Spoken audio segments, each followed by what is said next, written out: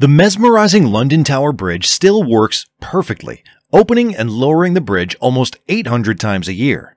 No pedestrians are using these high-level walkways. Let me remove them. Oh no! To understand what's going on here, we must first learn about the secret technologies hidden inside these engine rooms. Let's see the most simple bridge design which can open. An electric motor directly rotating the bridge leaves. However, due to the huge imbalance of the bridge weight, the electric motor struggles to raise and lower the leaf.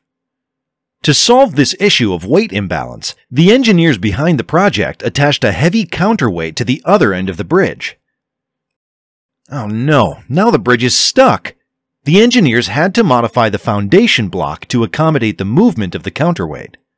They built huge chambers in the foundation block. As a result, the bridge could be raised and lowered with ease. The movable section of the bridge is known as a bascule.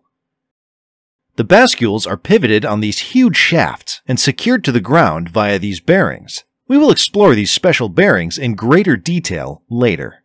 In fact, no electric motor in the world would be able to produce the torque required to lift the bridge. They would struggle to lift the massive bascules, each of which weighs more than 1,200 tons. You know the solution.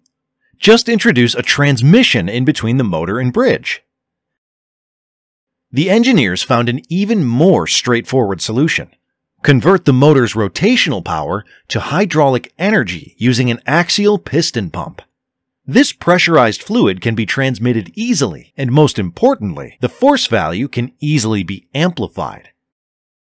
This hydraulic experiment we're all familiar with demonstrates how 1 newton of force at the inlet can be amplified to 10 newtons at the other end. Now comes the main hero of this project, the hydraulic motor. Just as electric motors work on electricity, Hydraulic motors work thanks to high pressure liquid. These spring-loaded pistons are kept inside this central block. Please note, unlike the normal pistons, these pistons are free to swivel slightly. The incoming high-pressure liquid moves these pistons outward by compressing the spring and becomes low pressure. Please watch the animation again. The central block slightly rotates due to the piston movement. When the piston movement is repeated, the central block completes a full circle. At the outlet of the motor, the liquid with low pressure is collected. This hydraulic motor is specifically known as a radial piston hydraulic motor. One specialty of them is that they rotate very slowly, between 100 to 200 RPM. The electric motor has an RPM of 2000. When the speed has become almost 120th at the hydraulic motor side, according to the energy conservation, the torque has amplified 20 times. That's a huge amount of torque multiplication. However, the torque multiplication is not over yet. From the hydraulic motor, engineers extended a drive shaft. The pinion gear, which has a diameter of 1 meter, is the next crucial component of the mechanism. The engineers fitted the pinion gear to the end of the drive shaft. The pinion gear now drives a gigantic gear, a rack. The rack is directly fitted to the bascule. This further reduces speed and increases torque multiplication. The highly amplified torque will now be able to rotate the bascule. Let's finally discuss these unique, gigantic bearings known as trunnion bearings. They're used to support the main shaft of the bascules. The London Tower Bridge still uses the same bearings that were installed 130 years ago.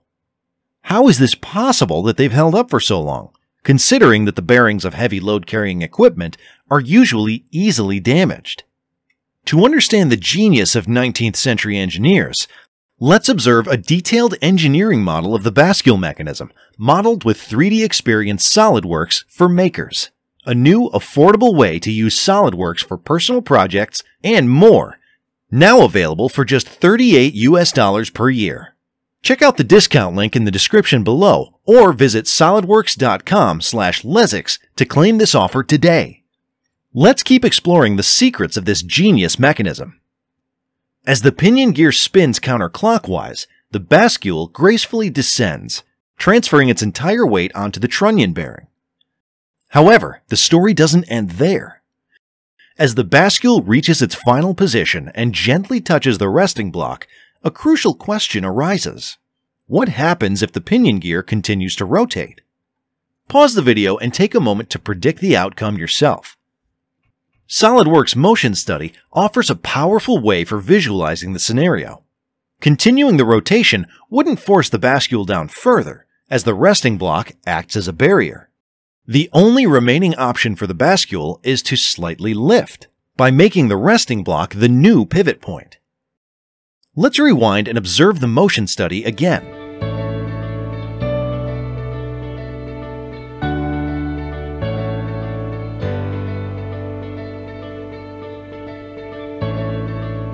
Notice the formation of a clear gap between the bearing shaft and the bearing itself.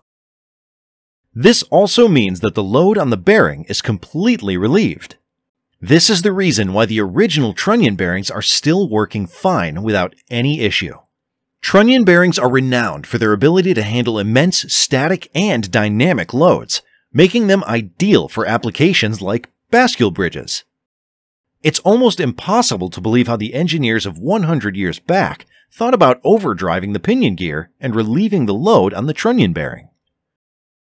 In short, at the normal bridge condition, the bascules are not resting on the bearing, but on the pawls, resting block, and at the support of the nose of the other bascule. The bearing carries the load of the road only during the lifting and lowering. This very clever engineering design is the reason why the original bearings installed over a century ago are still in use. We 3D printed all the SolidWorks files and built a mini London Tower bridge. Let me lower the bascule.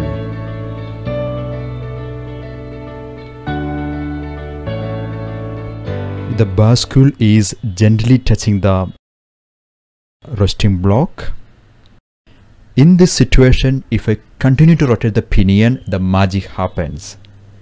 The shaft gets lifted off from the bearing. Once both the bascules are aligned horizontally, the nose bolts are activated. They are hydraulically activated and interlock with the next bascule. After this, the back end of the bascule is locked with the help of a few pawls. The pawls are also hydraulically operated.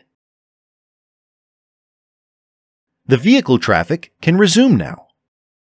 If we pan the camera downward, you'll be able to see a secret chamber. This is the bascule chamber. They are huge. When the bridge opens, the counterweight lowers into this region.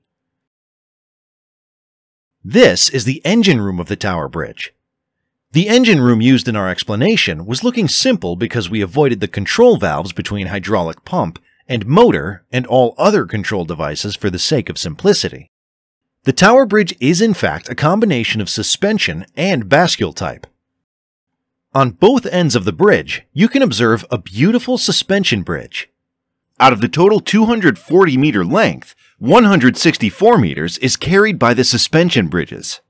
These stout retail chains carry the load of the suspension part of the bridge via the suspension rods. The engineers behind this bridge made one more smart design choice. They didn't want the flow of pedestrians to stop while the bridge was operating. That's why they built these high-level walkways. These allow pedestrians to climb the tower via these stairs and easily cross the bridge while the bascules are still opening and closing. In reality, the bridge was able to open and lower in less than 5 minutes, so most pedestrians elected to wait for 5 minutes rather than climb the towers. I had a chance to interview Professor Jeffrey Hardwell, who has been associated with the Tower Bridge since 1974. Professor Hardwell, could you please explain to your viewers why the high-level walkways of the Tower Bridge are important? The walkway actually contributes to the structure.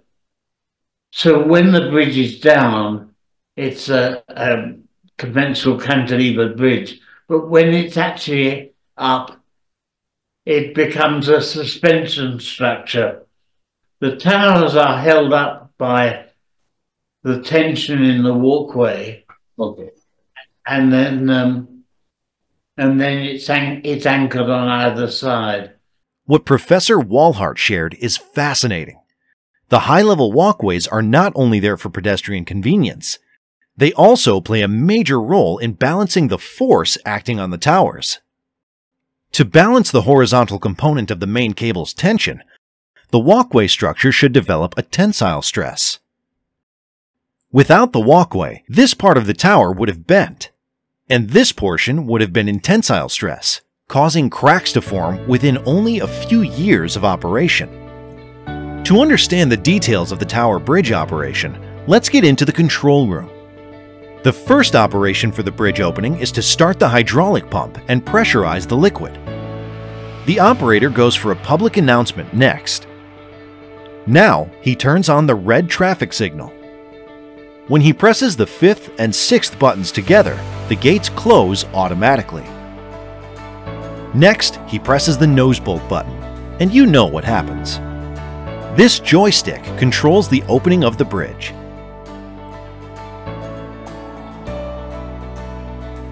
Once the ship is fully crossed, the operator closes the bridge. The commuters may feel this structure like any other road. Just by looking at the details of asphalt and structural steel, you'll be able to appreciate the intricacies of engineering they did more than 100 years ago. Before you leave, please don't forget to download the SOLIDWORKS motion study model of the Tower Bridge and play with it. Thank you.